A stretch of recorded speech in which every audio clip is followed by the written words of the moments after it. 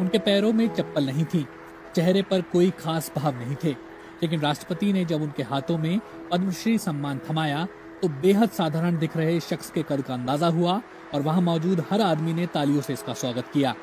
सोमवार को साल 2020 के लिए जिन लोगों को पद्म सम्मान दिए गए, उनमें से कईयों की पृष्ठभूमि बेहद मामूली है, लेकिन इनके हौसले और इनका काम इन्हें असाधारण लोगों में खड़ा कर देता है। ऐसे ही लोगों में से एक हैं कर्नाटक के हरेकाला हज्जाबा। निरक्षर होकर भी शिक्षा का महत्व समझने वाले हज्जाबा ने अपनी जमा पूंजी से बेंगलोर के पास अपने गाँव में साल 2000 में एक स्कूल खोला था। पद्मश्री मिलने के बाद सोशल मीडिया पर कई लोग इनके बारे में चर्चा करते देखे गए। लोग इनकी बड़ी सोच, कड़ी मेहनत और इनके संघर्ष की दास्ता की खूब तारीफ़ कर रहे हैं।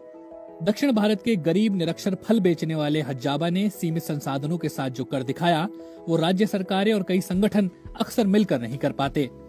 हज्जाबा ने फल की अपनी छोटी सी दुकान से हुई कमाई से अपने गाँव के बच्चों के लिए प्राथमिक और माध्यमिक स्कूल बनवाया। बेंगलुरु से साढ़े तीन सौ किलोमीटर की दूरी पर स्थित न्यू पाड़पू गाँव में साल 2000 तक एक भी स्कूल नहीं था, लेकिन डेढ़ सौ रूपए प्रतिदिन कमाने वाले हज्जाबा ने अपनी जमा पूंजी से गाँव में पहला स्कूल बनवाया। बीबीसी ने साल 2012 में जब उनसे पूछा कि स्कूल खोलने की प्रेरणा उन्हें कहाँ से मिली तो इस बारे में हज्जाबा ने बताया था एक बार एक विदेशी ने मुझसे एक फल का नाम अंग्रेज़ी में पूछा, तब मुझे इस बात का एहसास हुआ कि मैं निरक्षर हूँ। मुझे नहीं पता था कि इसका क्या मतलब है। उन्होंने कहा था, तब मुझे ये ख्याल आया कि गाँव में एक प्राइमरी स्कूल होना चाहिए, ताकि हमारे गाँव के बच्चों को कभी इस स्थिति से गुजरना ना पड़े, जिससे मैं गुजरा हूँ।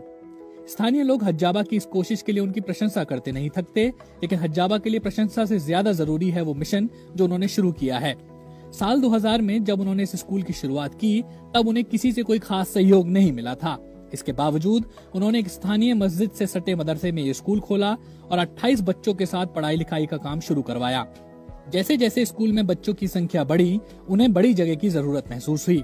तब उन्होंने कर्जे के लिए अर्जी दी और अपनी जमा पूंजी से स्कूल की एक इमारत बनाने की शुरुआत कर दी। हज्जाबा की इस लगन को देखकर कई लोग सामने आए और उनकी मदद में जुट गए, लेकिन हज्जाबा के लिए काम अभी खत्म नहीं हुआ था।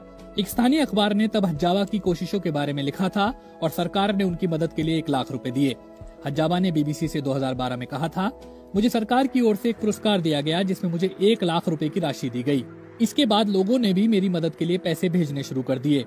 तब से लेकर अब तक हज्जाबा को कई तरह की मदद और पुरस्कार मिल चुके हैं और आम लोग उन्हें समाज का नायक मानते हैं। पद्मश्री सम्मान ने हज्जाबा की लगन और संघर्ष की कहानी को एक बार फिर रेखांकित किया है।